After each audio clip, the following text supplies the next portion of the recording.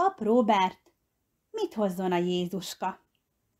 Autót a kisfióknak, kislányoknak babát, kendő kell az anyukáknak, apukáknak kabát, nagymamáknak jó bő szoknyát, nagypapáknak pipát, kapjanak a kutyák csontot, tejecskét a cicák.